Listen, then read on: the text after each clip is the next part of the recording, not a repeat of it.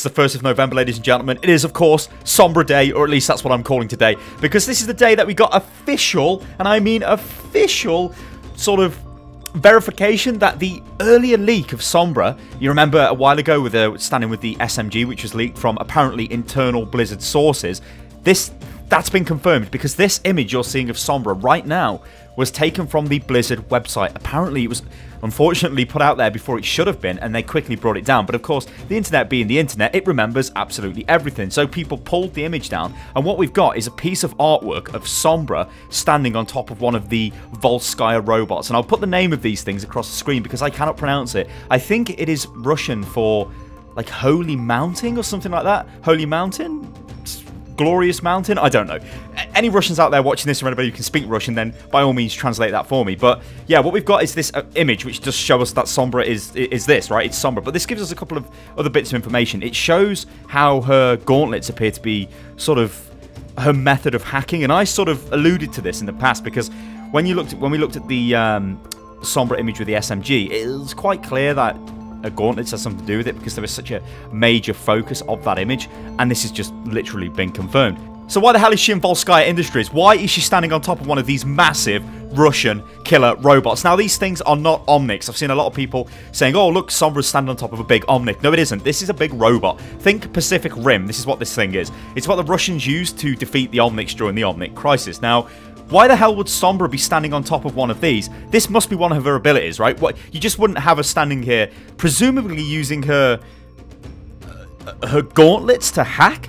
Like she's got these tendrils coming out of her gauntlets, like these data streams, which are hooking into the robot's hand and it's sort of glowing. Does that mean that she's taken control of the of the robot? That would fit Sombra, right? Everything that we've seen so far, especially with the stuff with taking control of um, Bastion and activating other Omnics and stuff like that, we know she can take control of computer-based systems. So it, what is this? Could this be an ultimate? Like, how the hell would this be in the game? Like, uh, surely she cannot call down one of these robots. It would not fit into the map.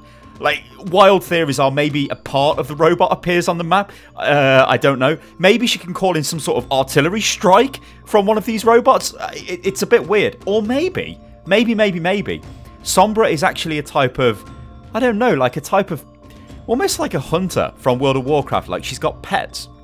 Um, or maybe if anybody's out there played older games like uh, EverQuest and whatnot, maybe like a conjurer or a summoner of some description, maybe like a necromancer from Diablo, um, soon to be Diablo 4, apparently I've been told. Um, maybe something like that though, where she can summon minions and the minions do things by her command, and maybe her ultimate like augments the minions in some way like maybe they just suddenly detonate. But how the hell could she control a minion around the map? Maybe it's like i don't know swarms of drones or something that she controls and she sends them off to attack people, um, but they can in turn be killed, or maybe she can use them to protect people, or maybe that would be too similar to the way Zarya's bubbles work. I don't know, but this image is really, really fancy. Also, she seems to have an IDE cable around her neck.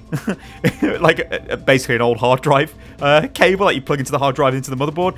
And like she's got one on her shoulder as well. And then she's got these fancy leggings which seem to have the matrix scrolling up them, which look absolutely amazing, I've got to say. Um, and also she's got those clips on her head which we still don't know what they're for. But I don't think they're, I think they're just like hair clips to be honest. Especially based off this image because it's showing that her primary method of interaction with computer systems is through her gauntlets, which is honestly uh, going to be very interesting because I speculated a while back on the abilities that Sombra would have.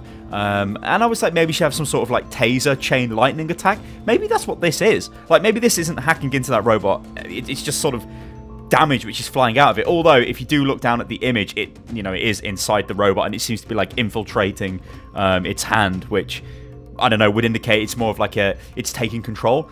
Maybe she's a melee character now. This should this, this could be crazy. Maybe these like light beams are like actual hard light things like what Symmetra has. And it's like a whip, and she can whip people. that would be like, yeah, I don't know where I'm going with this, but, you know, that could be something.